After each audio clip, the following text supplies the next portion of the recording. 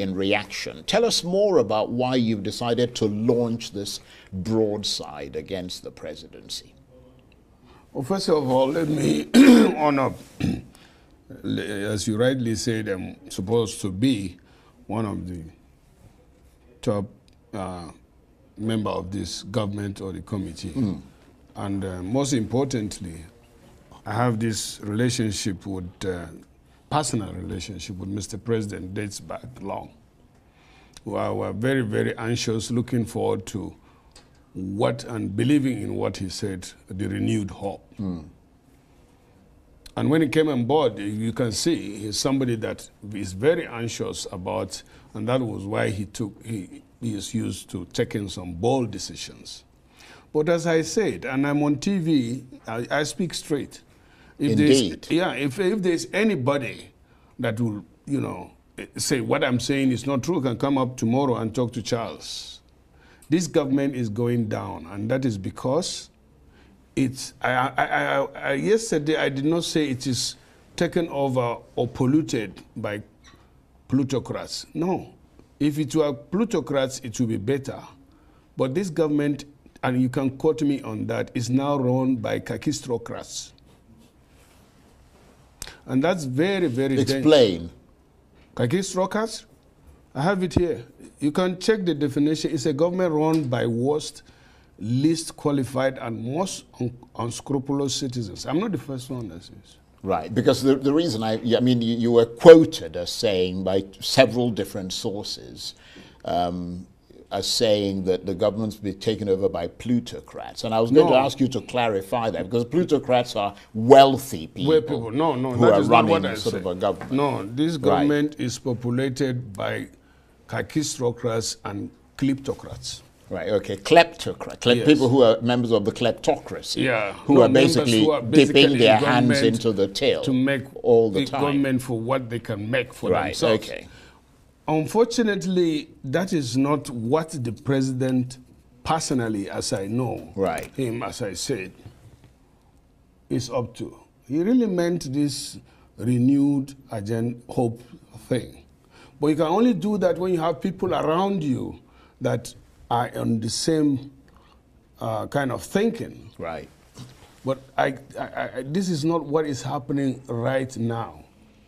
And as you can see, one, two, three incidences where when the president realizes he is not ashamed of taking decision to correct it even when it started with appointments and all that. And the same thing with policies. When they bring policies that the people are against, I give you an example recently with this uh, cyber crime levy. Mm. When the president realized that you have not heard about it, he again equally suspended it. What I'm hoping now is that he will look in, look out, and get. I don't believe, again, I say, that he is in the real picture of is what is happening out there. People are angry. You can't imagine the number of calls I received today, including yourself. I called you very early in the morning. yeah, but what were you saying? Hey, you are yourself again because you say it as it is and you come. Look, somebody has to do this. I'm 64 years old. I thank God for everything. And I think what is left to me as a politician or expected of me is to speak out the truth to whoever he is. Mm. Well, that's, that's one of the reasons you were elected into office by people. I mean, the, the idea is that you're supposed to represent them truthfully. Yeah, and, um, and that's what so I'm trying to do. So you speak truth to power. now we have a big challenge, and that is the threat of hunger and food scarcity. It is not only that the prices or inflation has gone up to 40%, but it has gotten in some places where you can you, do, you don't you will not with your money you won't find the food or the items you want to buy. That is very very dangerous and nigeria has never been included in the countries that face severe food crisis yes. or food insecurity but this time around check the figures recently you know, published by UN, World Food Program, Action Against Hunger, um, Cadre Harmonisé, they rank Nigeria as one of the hotspot. And for people like me, I have to be scared. As I told you, I'm 64 years old with 10 children and 20 grandchildren. I don't have passport or visa to anywhere. I don't have. You have more than one visa, uh, passport. I know. But what, what do you mean? I have more than one. I know you. We're not talking London, about me. We're talking about you. You stay in Nigeria. You stay in London, and you can go to London tomorrow morning. I cannot do that because I don't have visa to anywhere. Yeah, but I'm sure you wouldn't have too much of a challenge getting a visa. No, you have you're, to you're get. You have to apply. No. But but let's let's so, so, focus. So yeah. this is a very serious and scary situation, and most importantly, in the why I'm so scared is if those in power do not allow the president to know the magnitude or get informed about it so that they do something, mm. then you get worried. It's like now, Charles, we are here and the cloud is gathering. And I say, Charles, it's going to rain. You say, oh, no, don't worry. Then that is scary. Mm. I, think you, you've, you made some very interesting points there. On the other hand, of course, um, the people who are in the president's um, backyard, if you like, inside the presidency, would make the argument, would dispute what you're saying. They would say, for instance, that the president has been holding a meeting about the minimum wage thing with labor union leaders today. Surely he must know. No, that is not the, the reason why they're talking. I mean, he must know that you know, the, the reasons why they want a higher minimum wage is because of the conditions in the country and, and all the rest of it. And they would be speaking directly to him. So he can't be that shielded from the facts, can he? I mean, he, he must know what is going on. Well, if you say so, but I don't see so. Mm. Or anything the president does is something that we can be seen. If you know the president before now, then you know that the whole scenario has changed. This is somebody, he stays in Lagos. If you go to Bourdillon, anytime, any day, anytime in the night, you can go to Bourdillon 2 o'clock. And in most cases, you find President Bola Ahmed Tinubu, you know, receiving people in and out. Mm. If you come to where he stays in Abuja here, Lagos, in the Lagos house, you will know from when you take a turn whether he's in town or not, any time of the day. There are times you can go there three in the night and you meet him there. But now, if you go to Villa, the front of Villa is like a graveyard because they don't allow anybody to go and see Mr. President. Well, let me take you up on that because you suggested that the government or the presidency, indeed the presidency specifically, has adopted a closed door policy and that even ministers and members of the National Assembly, presumably like yourself, are struggling to engage with the, the president. I mean, that sounds pretty serious, doesn't it? Yeah, it seems, but that is the truth. The only thing, you know, um, the, you, the news media put certain things not exactly the way. Mm. So now that I'm talking to you, hear it from the horse's Absolutely. Mouth in every government it's like that. You have the gatekeepers. Those who want the president to know everything and to have other opinions would even encourage the, get, the those that matter mm. in the government to come over because, oh, during Buhari's uh, administration, which I thought was not that good. But if you compare this now to Buhari's regime, you will give Buhari a thumbs up. Because. Well, so, some would say that would be rather difficult to do. Eh, you know, because at least he opens up, people come to see him. I'm quoting, you quote me, and they, if, they, if, if it's not true, I don't speak just like that. Right. There are some ministers don't have access to Mr. President. The only access they have to Mr. President is when they are maybe invited, and some may not be invited. Or when they go for council meeting. And you know, when they go for council, by the time the president goes in, all of them are seated. Mm. And the president is the first person to leave. You can't say, oh, I want to. No, yeah. that is it. There is a procedure. And then the SGF, who is supposed to be the clearinghouse, I don't know about, you know, I've not seen him uh, most lately. But I'm telling you, Charles, I won't come to the TV or even in sure. private lie. So, have you had a challenge in seeing the president yourself personally? Well, let me tell you one thing. The president, severally, if we meet in the public, he will say, ah, Chief uh, Ndume, why are you not coming? Why am I? And I said, no, Mr. President, when you look for me, I'll be there. Did you say to him, well, he's not allowing me to come in? I said it once to one of his staff that they are the people that are keeping us out of this place. And so I will not struggle to come and see Mr. President, but I have an obligation hmm. to speak for the people, or speak for my people, or speak as a senator. You can imagine I am the chief whip. If a chief whip cannot have access to Mr. President, the new senators, of course. Yeah, that's a problem. Yeah, let me tell you. And let me tell you in difference to it.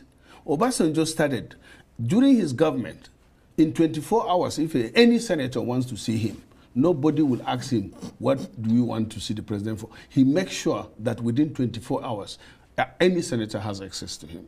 Ministers go in and out. To know, uh, um, uh, Obasanjo, as old as he was older than our president, he will be saying, That is politics.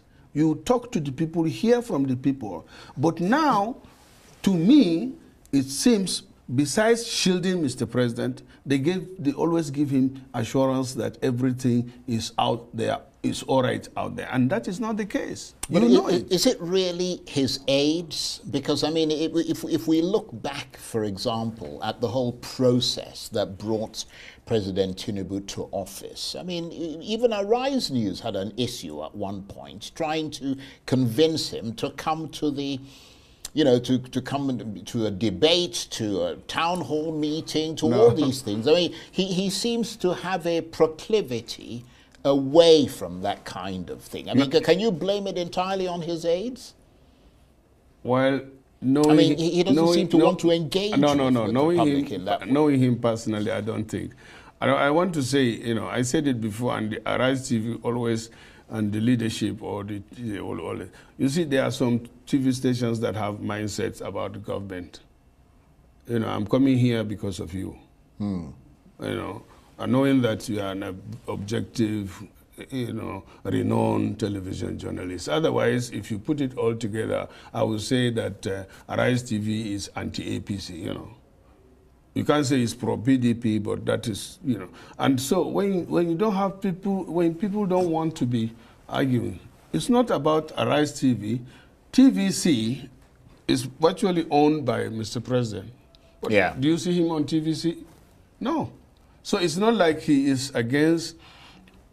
The yeah, problem- but I, I know you were just making a suggestion, but clearly Arise is not anti-APC or anti any party. I okay, mean, I will I will agree with that because of you. no, no, but it's true though. I mean, we, we so- don't, we, we just don't take sides with anybody. Okay, we, so we let me try to be as okay, objective le- as possible. I, I, I agree with that. Yeah. But let me also say that there are some people that are introverts. There are some people that are extroverts. Right.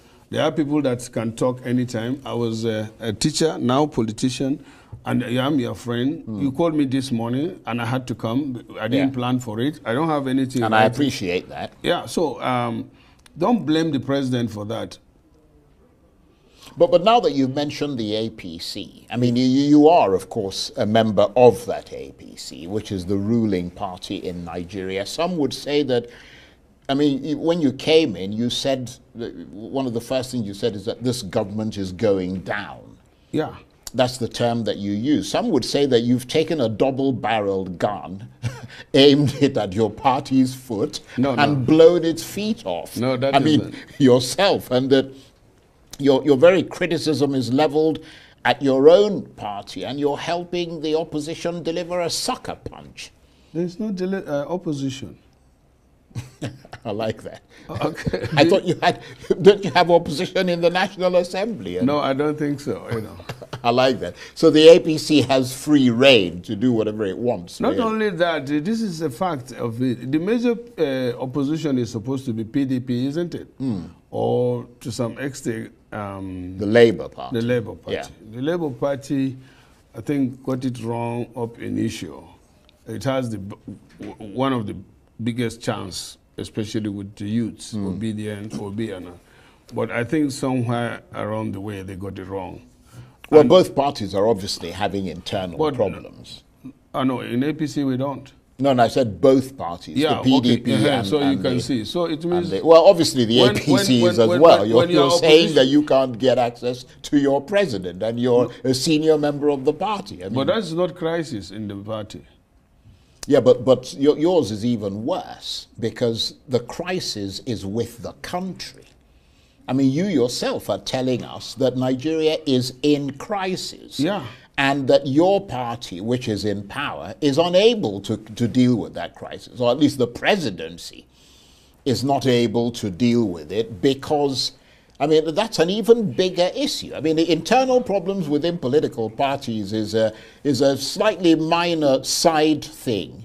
I mean, if your party, which Nigerians have voted in and given reins, the reins of office, if you're not able to handle the, the big issues which you yourself have enumerated, and your, your, your point was that the, the government is going down, that's your part. That's an even bigger crisis, isn't it? Well, I don't think that is a bigger problem than what they have on the other side. I think you are mixing things up no. a bit.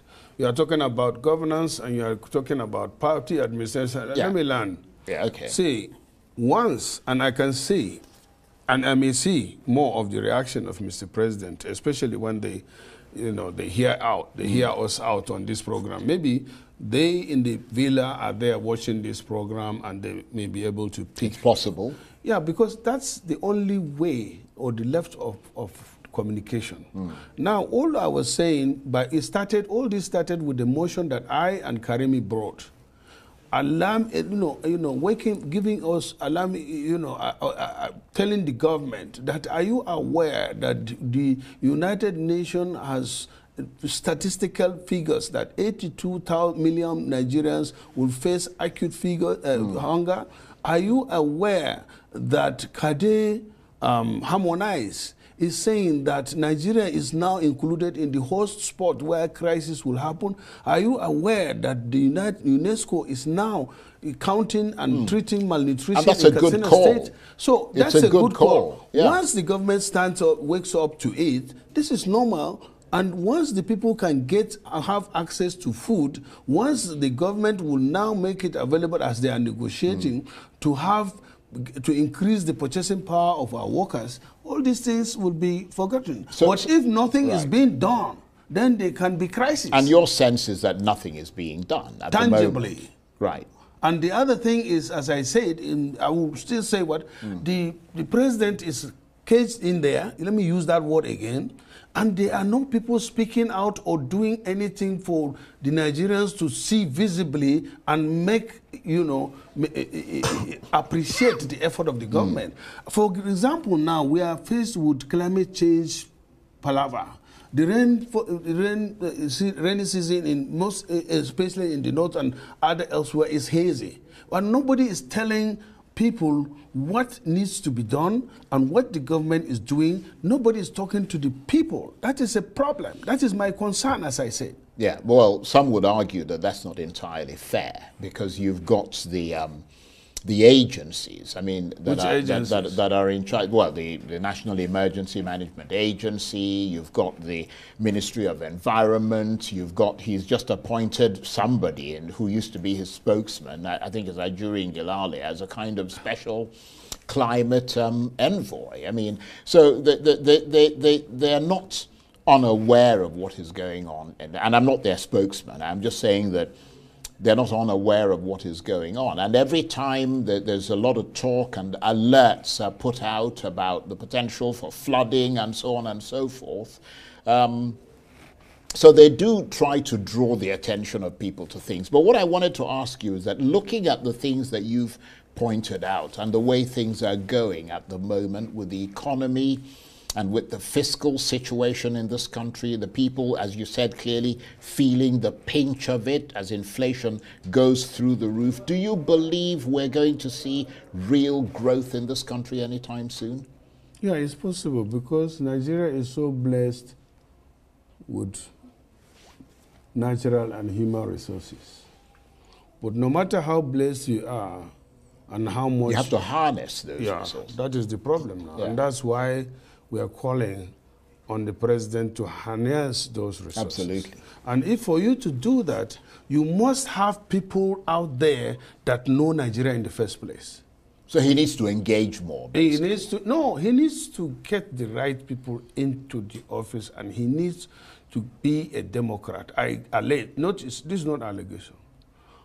I said this government is dominated by khaki strokers and kleptocrats. Yeah. He needs to dominate his government. But that's with- always been the, the No, story no, no. of Nigerian governments, he though, needs, hasn't it? he needs to dominate his government with Democrats. right. The people that worked and for him to be elected, hmm. the people that will realize his dream, the people that will look at him in the face and say, Mr. President, this is wrong, let's do it this way. And he will argue. And he's a, that person that takes superior argument. Hmm. But when you gather kleptocrats and you gather kakistocrats, the end result is what defines them. And, and your point is that this is a bad time for that to happen because the yeah, country is going through a major economic crisis. And the government also inherited a very bad situation. yeah. So you need somebody that is decisive like him, hmm. but it is not enough to be strong and be decisive. Of course, when you take any action, there must be consequence and there must be something that you need to do. So, hmm. like now, this removal of oil subsidy. Let me tell you that I was, I, I, he, he abruptly announced this removal of oil subsidy. And I supported him because I was thinking that there is going to be a program that will take us out of the hands of these few people that are, you know, draining the economy in the name of subsidy. And the savings from that will now be used, utilized for the people. And I'm saying that instead of fuel subsidy that you remove, hmm. then you engage in other subsidies that are important, like food stamp, like you know making food available, hmm. and that is not by doing palliatives. Palliatives are temporary measures. So if you have experts around that knows this thing, then you will not be, you know, overreacting. Hmm. Instead, you will be managing the situation and carrying Nigerians along. Nigerians know the situation. It is not peculiar to Nigeria only. It is worldwide. Hmm. The issue of hunger is worldwide. So if Nigerians are made to know that this is a problem that we have to face collectively, Nigerians are good. Well, I- I, don't know. the m- Maybe you, you can actually enlighten us because I mean you're a member of the the, the Senate. Um, you're you're a senior member of the government, and uh, you're privy to things that a lot of ordinary people are not. I mean. It's been reported, for example, that because you mentioned the oil subsidy, I mean, that fuel suppliers are being owed more than $6 billion, which has gone up considerably from the $3 billion they were owed in April. That is according to Reuters news agency, which says that the NNPC is struggling to cover the gap between local pump prices and international fuel costs. And that means that there is a subsidy that is being paid to cover that shortfall. As you know, as you said, after President Tinubu announced an end to fuel subsidies last year, pump prices tripled. The NNPC was forced to put a cap limit on fuel prices because of the rising cost of living. And that cap, added to a crash in the value of the naira, essentially allowed subsidy to return. I mean, that's the that's the, the, the, the story that's coming from experts. And according to industry, those industry experts, that subsidy, which we were led to believe, and you're pointing to, we were led to believe has ended, is going to cost at least $3.7 billion this year. So back to square one, in effect. Well, Charles, I must confess that I don't talk ignorantly or from. I'm not an expert in the petroleum industry stuff, and uh, I was not expecting us to discuss this subject. No, no, it's just it's, it's because you Yeah. brought it Yeah, up. but I mean, you, you don't have to dwell on it if you if you don't want to. We can Yeah, move no, on. not that I don't want to. Yeah. I always want to talk from the background of knowledge and yeah, facts. yeah, I understand that. But I, as I told you, I one time asked the, um, the initially the GMD of NNPCL Hmm. now, that wait a minute, you said we'll, we'll be saving one trillion by removing the oil subsidy. I said, where is the money? And he said, there is no money. I said, what? What do you mean there is no money? He said, no. Before the removal of the subsidy, what they're facing is that they have to get borrow or they are running at a loss. So they have, and there's, and So, so basically, whatever monies are there will just go to fill that those yeah, gaps. do, fill those gaps. That Yeah. if they recover and there is profit because they are now a corporation, Hmm. they will pay the money to the government. And I say, wow, so why are you asking us to make sacrifice? And immediately after that, I'm, I was thinking that the Nigerian government, and I still argue on that now, hmm. that we were talking about fuel subsidy. Now we have problem with food. Why don't you introduce food stamps? I'm yet to hear that. And the Senate passed a motion that I brought hmm. that they should introduce food stamp. And look, let me say here again, this subsidy matter is not the problem. It is how it is being managed. Right. It's, it is overwhelmed by corruption. But if not, Nigeria, check, the American government right now is subsidizing about 18, have 18, inter, no, 13 interventions, excluding fuel. But they subsidize agricultural products. Yeah, but they have the money subsidize to do it. I mean, the, the, the, the, reason no, no. why everybody I kept don't want talking you- about I don't want you to say that. removing subsidy No, was, was because they said Nigeria couldn't afford it. I don't want you to say Yeah. that because but- let me let me Right, give you this. sure. That's why I say I disagree with that. In the whole world today, after Japan, and uh, yeah, America is the second largest or highest uh, uh, uh, debtor. They borrow to. To, to, to do what government but they have enough goods and services. Yeah, and- but you can't get enough of a- food and of services. Of, an economy It to- doesn't matter to- for me. To offset that. Wait, what is wrong with borrowing if it will be useful to the people? My Hmm. problem with borrowing is that if some people borrow that money to steal it and take it back to those people that gave us the money, that is where the problem is. Hmm. But in America, I said they need to subsidize food.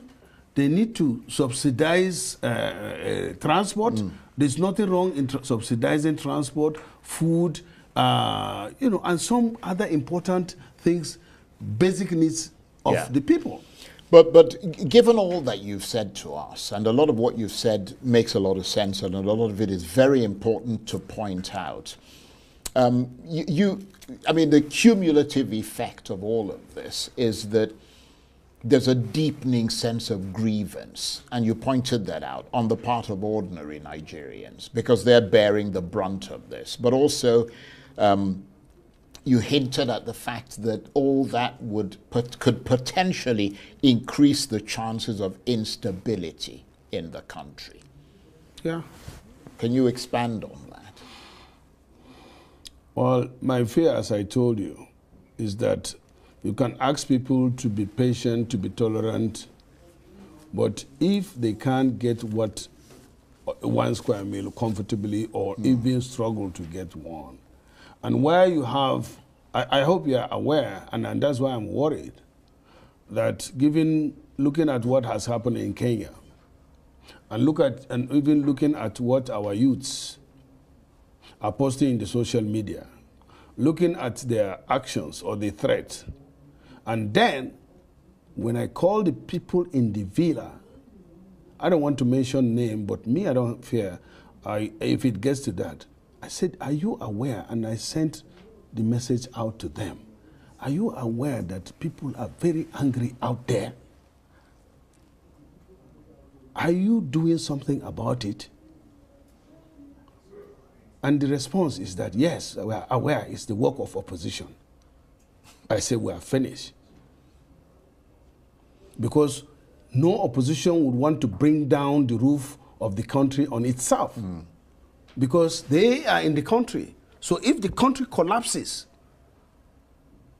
is it only going to collapse on the ruling or the governing party? No.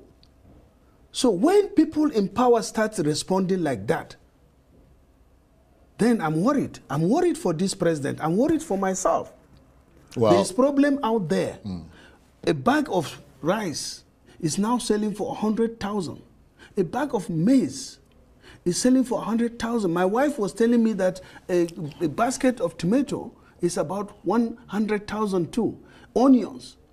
Every food is going up the price. Inflation is 40%. the value of our naira is going down. And then, not only that, when you tell people in government that, hey, people are hungry, angry, and they are preparing or there are signs that they will revolt, you say, no, don't worry about them. That is very, very dangerous. And I hope this will be, to me, God will exonerate me because I told them. And many Nigerians today told me and encouraged me to come for this year program, speak out on our behalf. And that's why I was elected. If the government doesn't do anything, there will be problem. Well, on that note, I want to thank you very much indeed, Senator um, Ndume, and uh, thank you for um, sounding that note of warning. Um, you, have always been noted for that, and uh, I hope that the people who are um, in charge are listening to you. Thank you very much indeed. Senator Ali Ndume is the chief whip of the Nigerian Senate and he's a senior member of the ruling APC party. Good to see you again. Thank you, Charles.